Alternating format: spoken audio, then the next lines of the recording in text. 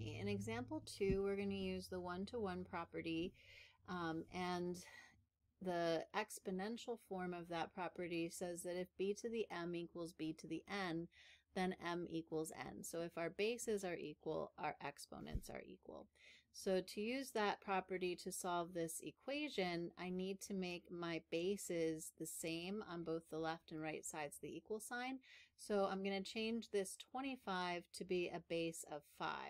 So 25 is 5 squared, and that's still being raised to the x minus 4 power. And when you power a power, properties of exponents say you multiply the exponents. So we're going to distribute that 2 to both the x and the 4. So now on this side of the equal sign, we have 5 raised to the 2x minus 8 power. And that's equal to 5 raised to the 3x plus 1 power. Now that our bases are the same, they're both a base of 5, we can set our exponents equal. So 2x minus 8 is equal to 3x plus 1. Then we'll subtract 2x from both sides and subtract 1 from both sides to get x is equal to negative 9. Okay, then to check that answer, we're going to need our calculator. There we go.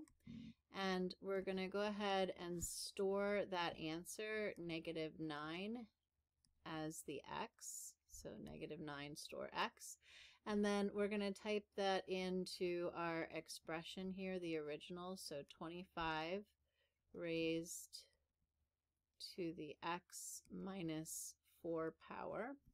Then second math opens the test menu and number one is equals 5 raised to the 3x plus 1 power. And when you use the equals in the test menu, then the calculator is going to substitute the negative 9 for the x's and decide is this a true statement or is it not true. If it's true, it returns a 1. If it's false, it returns a 0. So we press enter, we get back a 1, and that tells me that x equals negative 9 checks and is a valid solution. Okay, in example B, we have a 1 ninth and a 729 as the bases. And um, if you recall on that cheat sheet on the back of your evaluating logs notes, um, 729 can be written as 3 to the 6th power. 1 ninth, uh, that's a reciprocal, so we'll have a negative exponent. So 1 ninth would be 3 to the negative 2 power. And then remember when we power a power, we multiply the exponents. So that'll be an x plus 1. And then 729 is 3 to the 6th power. So now our bases are equal. We can set our exponents equal. So we'll go ahead and distribute that negative 2 through the exponent. And we'll have a negative 2x minus 2. And then that's equal to the exponent of 6. Then we're going to add 2 to both sides, and negative 2x is equal to 8. And then we'll divide both sides by negative 2, and x equals negative 4 is our solution.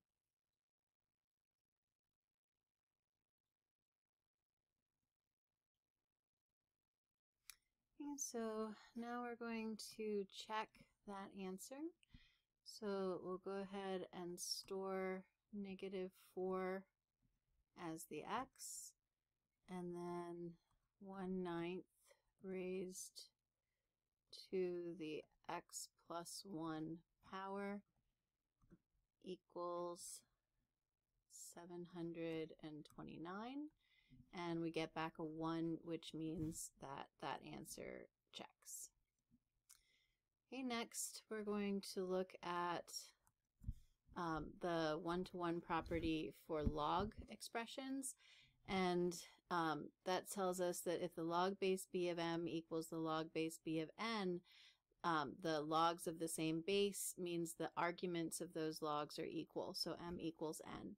Since we have a natural log on both sides, one natural log equals another natural log, we can set the argument 2x minus 3 equal to the argument of the other natural log 3x minus 8. Then we'll subtract 2x from both sides and add 8 to both sides and x equals 5.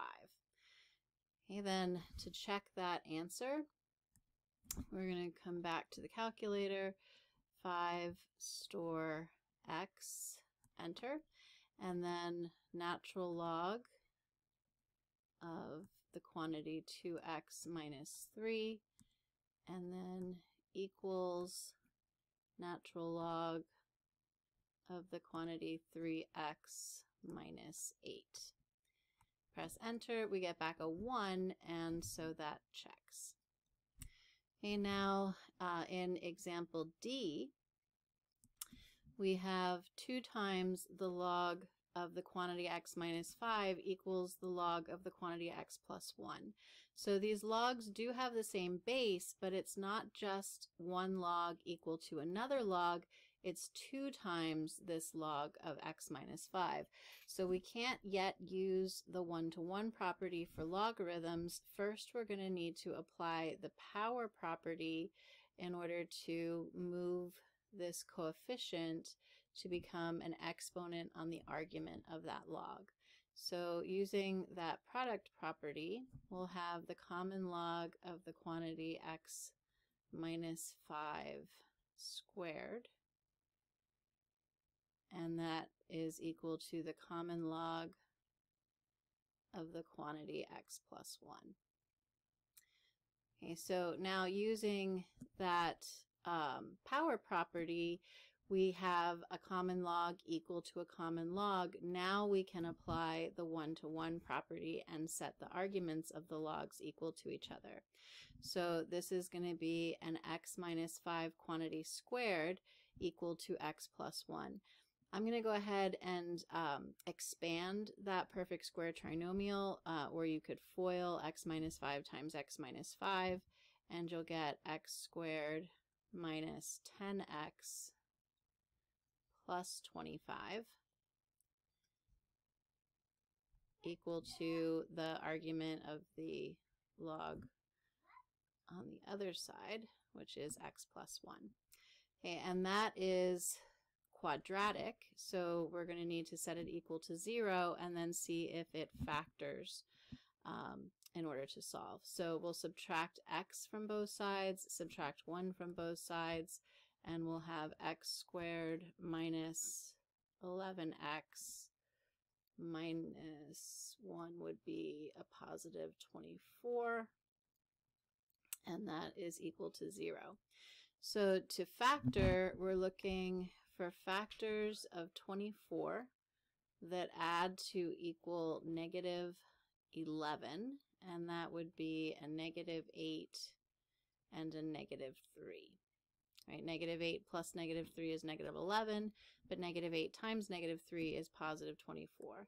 So this quadratic trinomial factors as x minus 8 times the quantity x minus 3 and then we'll use the zero product property to set each factor equal to zero and solve for x. So this factor gives us x equals 8 as a solution. This factor gives us x equals 3 as a solution. And then we want to check our two solutions. So we're going to take the 8 and store that as x. And we'll have 2 log of the quantity x minus 5 and then equals the common log of the quantity x plus 1.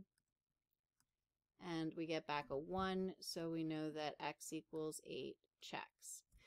Okay, then we're going to take the 3 and store that as x. And then I can do second enter, second enter to bring back that last line I typed.